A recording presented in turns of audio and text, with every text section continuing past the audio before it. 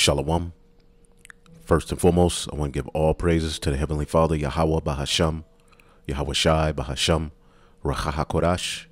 Double honors to the apostles, the elders at Great Millstone who rule well. And as always, we give peace and salutations unto the elect. All right. And I wanted to do a, a quick response to this video uploaded by the beloved brother Karatazah. All right, GMS Vegas. All right, you can see his uh, YouTube handle here. GMS Vegas sit downs. All right, space 144K. All right, make sure you subscribe. All right, so that you can constantly be edified. All right. Um, the title of the video that I'm responding to is Some of These Camps Lack Humility. All right. And um, before honor is humility, which is true. All right. And he's responding to a video done by um, a brother. I don't know exactly if he's in a camp. Um, but the title of the video that the uh, brother did was called Hebrew Israelites Who Force Other Nations to Kiss Their Boots Are Wicked.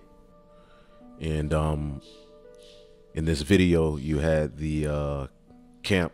Um, I don't know, I forget their name, uh, but in times past they were called Adam Abbott. All right, um, having a uh, heathen bow and kiss their feet. Okay, which is ultimately vainglory, but I wouldn't say that it makes them wicked. All right, ultimately, um, we're going to go to the scriptures and show how ultimately it's being taken out of context. All right, because the heathen nations will bow to us once the throne of David is established. All right, but that takes Yahweh returning and getting his glory first. All right, so really, would a nation of people bowing to us in this state, you know, meanwhile, our nation is still deprived, the throne of David isn't established, the whole moral code of this world and the judges that rule this world don't judge by the ways of Yahweh Bashim Shai, that is in no way a victory. So what it equals to is vainglory, and that's what I wanted to deal with. I understand the sentiment, you know, um, and that's actually something that goes back to the old One West. They would have particular uh, Edomites if they came up, all right, begging for, for mercy, and then they would bow to them and kiss their boot, all right. But once the Edomite left, okay, and the camp was closed up, all right, they may have went to eat, but that next day or the day after that, eventually you would have to go to work or even if you don't and you have your own business it's still all in subject to this system all right and your nation all right is still uh, uh, in a downtrodden state all right those who believe and, and speak the truth are, are targeted hated okay so ultimately before we have anyone bow to us all right Yahweh has to be reverenced and bowed to and all knees will bow when it's all said and done. All right. And that comes with uh, uh, uh, us being joint heirs. Then we'll get that glory. All right. But Yahweh has to return first. So I want to go to the scriptures that these men use. All right. For that purpose and just bring out some edification. All right. Because um, at the end of the day, we don't want to do anything for the purpose of uh, vainglory. All right. I believe that's in the, let's see. We're going to bring that out in just a minute. Let's see here. Yep, this is Galatians 5 and 26. It said, Let us not be desirous of vain glory, empty glory. Okay, it's it's empty at the end of the day. All right, and you may get mad, but this is just a video for the purpose of edification. All right, if you uh, uh get mad or if you cut by it, it is what it is. All right. It says provoking one another, at envying one another. All right. So let us not be desirous of vain glory. What is vain? Empty. Okay. See if we can look up the uh, definition of vainglory. All right. Kenad oxos. All right. Strong's G 2755. Kenodoxos. Kenodoxos. All right. Uh, glorying without reason, conceited, vainglorious, eager for empty glory. Okay. And we're going to get glory don't get me wrong, all right? And we are being glorified by receiving the Holy Spirit in these latter days, all right? But we're not finished, okay? We're not yet finished, all right? We we we uh, still have a straight gate to go through, all right? And we have nothing to be proud about. Now, going to the scriptures they use, I'm going to start with this one in Isaiah the uh, 49th chapter in the 23rd verse. All right. And it says, and this is a prophecy, and this is coming to pass. Okay. As a matter of fact, let me just pull it up in its own. It says, um, let's see. I'll just start at 22. It says, Thus saith the Lord God, Behold, I will lift up mine hand. And who's his hand? His right hand is Yahweh Shai. Okay? To the Gentiles, and set up my standard to the people. And they shall bring thy sons in their arms, and thy daughters shall be carried upon their shoulders. All right. And kings shall be thy nursing fathers. Okay. And nursing just means to to nourish. Basically, um, matter of fact, we can just look it up.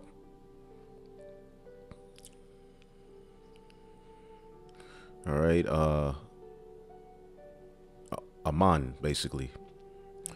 To be to support, to confirm, to be faithful. Or right? they're going to be servants and handmaids, as the scriptures say. All right. To foster. All right. To make firm. All right. To establish. To carry by a nurse. Right. It's no root word. So they're going to be faithful to us. They're going to uh, ultimately be servants. Now, it's going to take a period of a thousand years, all right, to fully instill in them the mindset of keeping our ways and, and, and, and understanding what we require, that it be passed down to their generations, all right.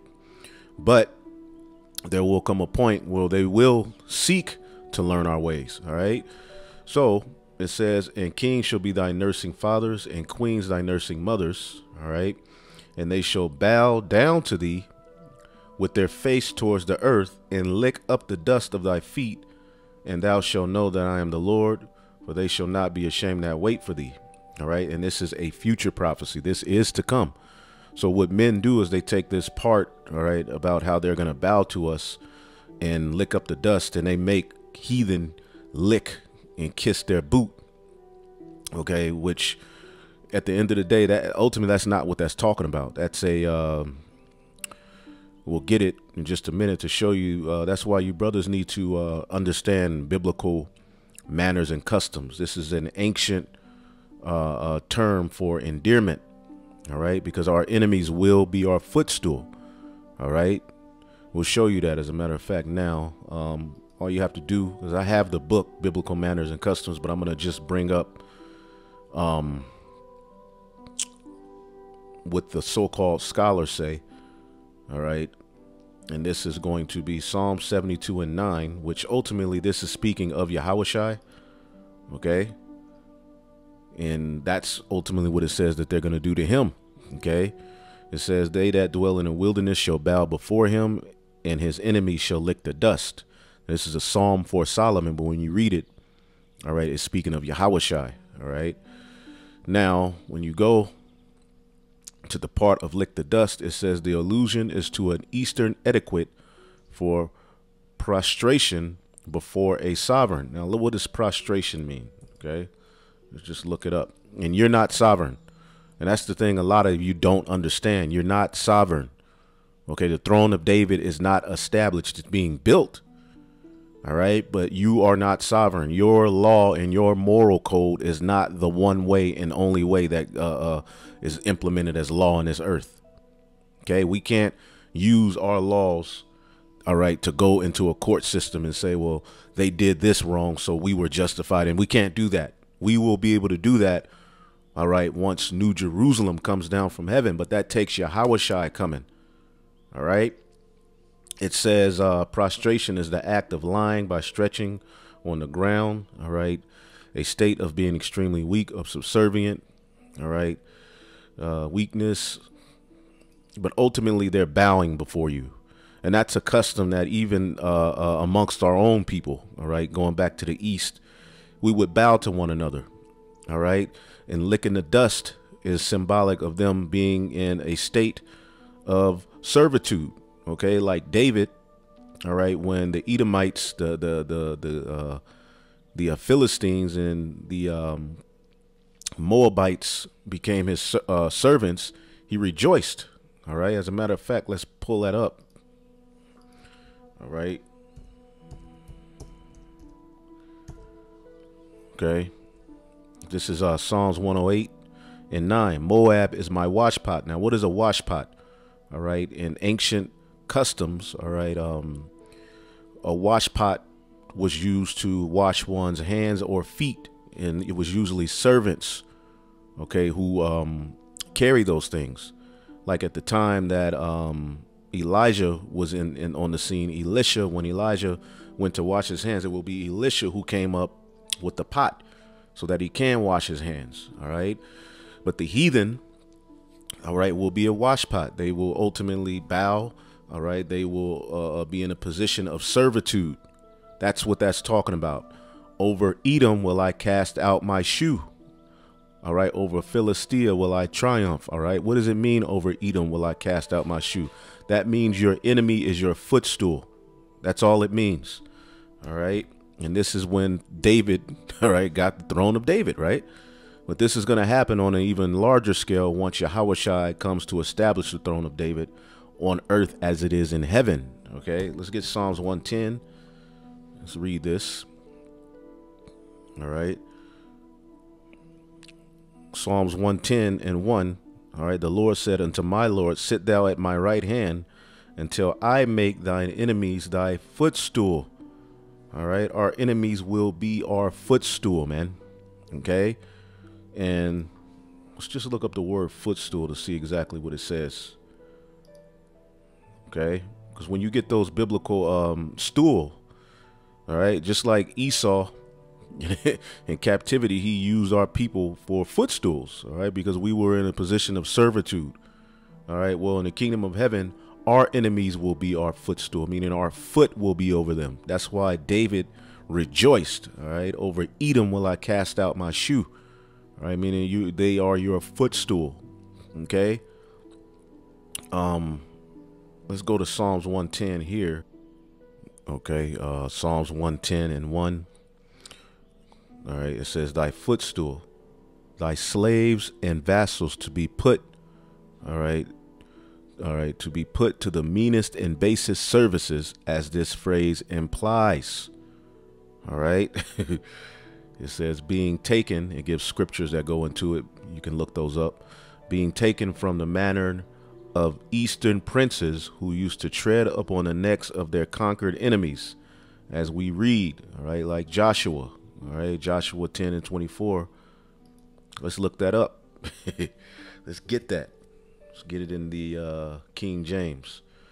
All right. It says, And it came to pass when they brought out those kings unto Joshua, and that Joshua called for all the men of Israel and said to the captains of the men of war that were with him, Come near, put your feet, okay, upon the necks of these kings. And they came near and put their feet on the necks of them. So that's an ancient custom. So once Yahweh returns, all right, and sets up the throne of David, we get new bodies, our enemies will be our footstool. Okay? That's all that that means, man. Okay? Um, as a matter of fact, just type in washpot. Okay? It's very important to know these things as well. All right, because it, you know, because walking around the earth, you know, making you know the heathen bow to you before Yahweh establishes you is a uh, it's it's pride, man. All right, it's empty, it's vainglory. Okay, now I do understand. Okay, and when you go to that uh, Moab as my wash basin or my wash pot, okay, we're gonna go to the commentary on that so you all can get that real quick. All right.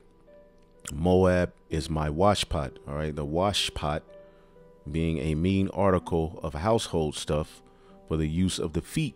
Okay. It says the lowest parts of the body. It is a fit title for the Moabites. And it's crazy. They're very good at doing feet and hands and because that's what ultimately they were created for. All right. To be servants. All right. It says, uh, whom David intended to bring into the lowest degree of servitude and render contemptible. Was David, well, David was a racist, huh? and it, it gives you Second Samuel 8 and 2. Let's look that up. All right. It says, Over Edom will I cast my shoe, an old, proud, insolent, and cruel enemy of Israel will I cast my shoe. I will use them like slaves. I will, as it were, trample upon them. All right, a proverbial expression. Okay. And you can read the rest. All right. Because um let me get here. Second Samuel 8 and 2 in the King James. And he smote Moab. This is what David did. And measured them with the line, casting them down to the ground. And with two lines he uh, measured he to put to death, and with one full line to keep alive. Right? So he's setting up all types of torture methods to destroy the Moabites. This is David. And so the Moabites became David's servant and brought gifts. All right. So that's all that means when it says, uh, you know, uh, Moab is my washpot. Over uh, Edom will I cast my shoe. It's basically your enemies being your footstool, becoming servants. Okay. That's all this means when it talks about them licking the dust. They're going to be uh, uh, lowly. Okay. Uh, Micah 7 and 17. They shall lick the dust like a serpent. Now, what did the Lord tell the serpent? He said, On thy belly shall thy, thy go all the days of thy life all right, and you shall eat the dust all the days of thy life. That's just basically you being the lowest of the low. You're going to be through, okay? And they shall move out of their holes like worms of the earth. They shall be afraid of Yahweh our God and shall fear because of thee. So, yes, the nations will bow to us, all right? But first, all right, uh, uh, has to be bowed to, all right? And that takes us to the book of Philippians, the second chapter and the 10th verse, that at the name of Yahweh every knee should bow. All right, of things in heaven, of things in earth, and things under earth. Now remember, we are joint heirs with him. You see, and that every tongue should confess that Yahweh Hamashiach is Lord, all right, to the glory of God the Father. And that's what all nations will be forced to do. Even our own people are going to do that. All right, the ones that rejected the Messiah, all right, like it tells you in Revelations, the third chapter. Okay. Uh, Revelation 3 and 9 Behold, I will make them of the synagogue of Satan, which say they are Jews and, and are not, but do lie. Now, this is speaking of Jake. We use it for Esau as well, but this is really speaking of those wicked Israelites. All right, but do lie. Behold, I will make them to come and worship at thy feet. All right, now worship is ultimately a high level of reverence. All right. Now, why ain't these people going to hell? And when are they going to worship at the feet? Right. It's once Yahweh is established in the earth, our people are going to have a high level of reverence, all right, towards uh, their leadership. And that's an ancient custom as well, to where we would, you know, when you saw a man of nobility, you would bow to him. You know, in this time, we've grown up in this destructive culture. All right, so to have reverence for another man and order and respect are looked down upon, even in Israel, all right, but that's a, a, a custom of ours, and even our own people.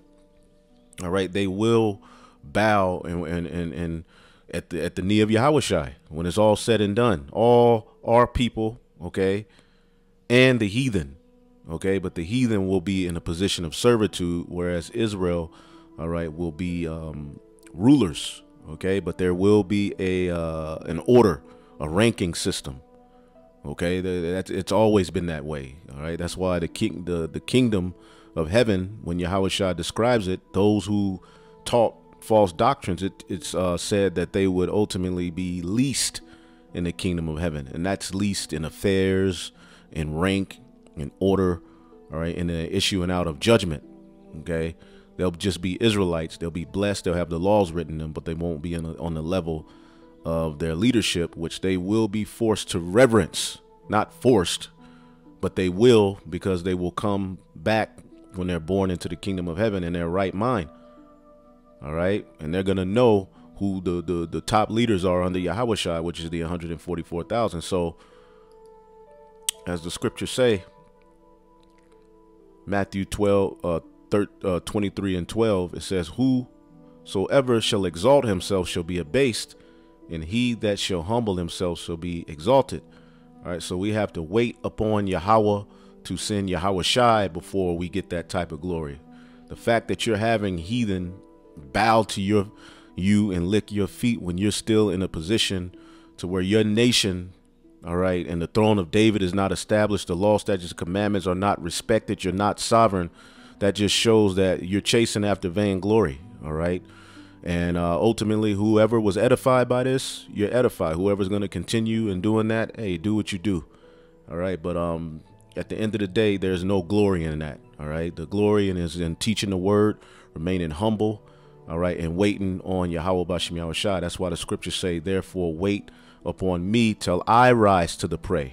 All right. Wait, therefore, upon me. We have to wait for the Lord to send his only begotten son Yahweh Shai. And when we're delivered, we get those new bodies, we're crowned, and we come down, New Jerusalem being established on earth as it is in heaven. Then, all right, the, these nations will uh, bow to us. Then we can execute judgments based upon the law, statutes, and commandments. Then we will be reverenced and have that fame. Okay, now we're getting the fame now through the preaching of the word, and there are miracles coming. All right, but ultimately, this scripture about uh, them bowing and licking the dust is only symbolic of a servant bowing to a uh, ruler or a sovereign, man, which you're not. Okay. So I just wanted to bring that out. Hopefully, y'all edified. Whoever needed that. All right. Uh, hopefully, you are edified. On to the next. Shalom.